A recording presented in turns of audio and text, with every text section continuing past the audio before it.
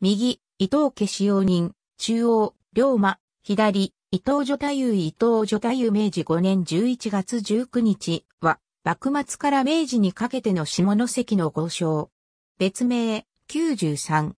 調布藩赤間関の大年寄りであり、大名に宿舎を提供する、東の本陣伊藤家の当主であった。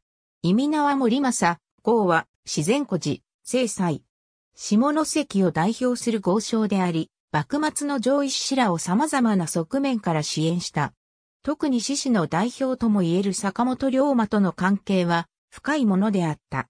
伊藤邸は慶応元年の初対面以来、龍馬の私宿先であった。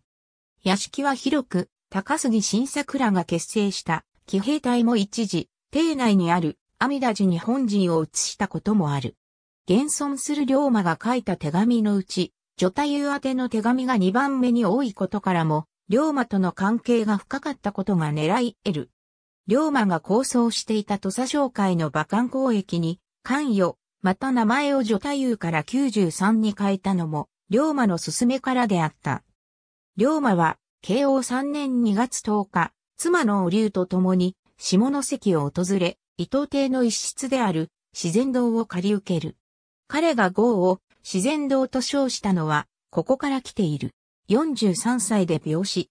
墓は、下関の空月庵と名付けられた伊藤家墓所にある。